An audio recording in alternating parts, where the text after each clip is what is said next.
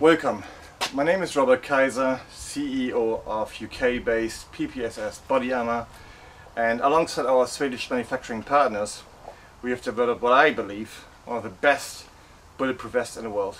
Uh, one of the thinnest, one of the lightest, one of the truly outstanding body armor right now on the market.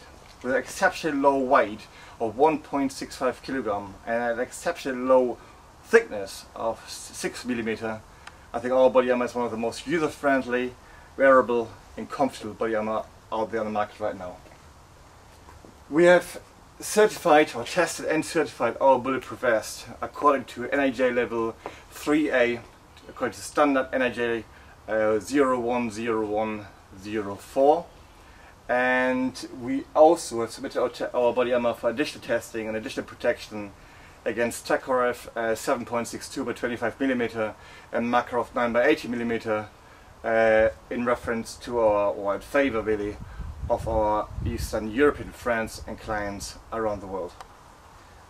Let me assure you, we have used the very best materials out there. There's no doubt about that. We have used uh, DSM Dyneema SP51.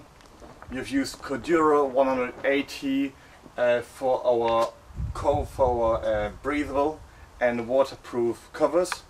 And we've also used uh, temperature controlling Outlast space technology and I can say it is, is as good as it gets at the moment from the manufacturing capabilities point of view uh, to take care of issues such as you know, body heat and body sweat etc etc. But I think what's very very important and I thought for sort of in reference to what's going on in today's society it also offers unmatched protection from hypodermic needles such as this one. Um, I really feel that the risk of infection such as uh, HIV and hepatitis C is ever ever present I think protecting our frontline professionals, such as uh, Homeland Security professionals and law enforcement officers, I think is absolutely crucial for any kind of modern body armor. So this body, this needle, you can see, I hope you can see it, uh, viewer, but front, and I held this needle in front of the body armor, and I tried to uh, penetrate the body armor. I won't even scratch the surface properly, to be honest. Um, that bends the needle, and I even break the needle.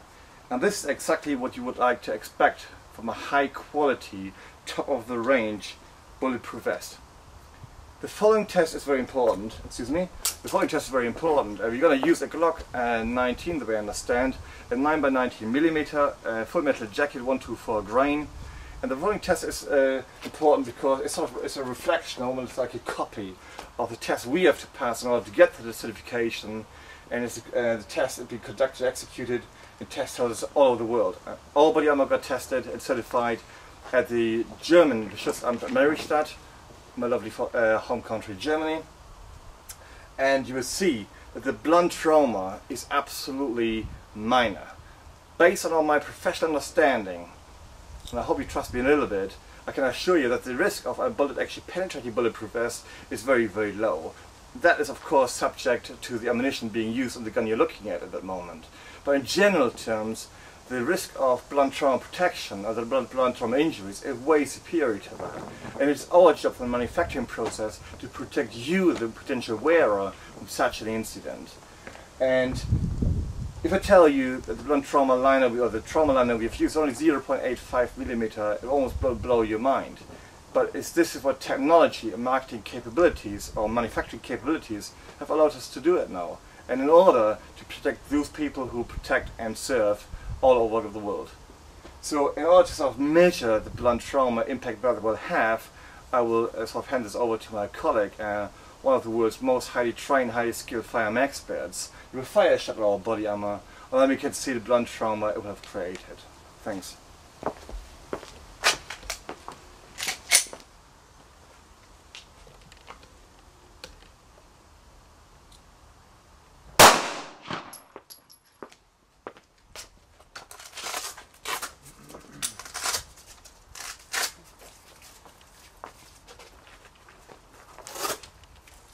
I would say right now, and it's only a good guess, but we don't, we don't want to go to become uh, too scientific about all the whole issue.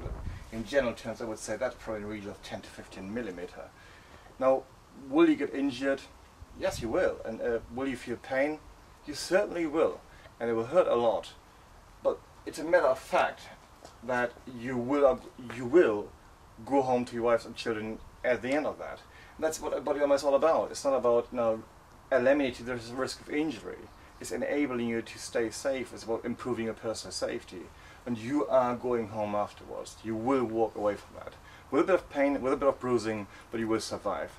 And this what our body armor will do.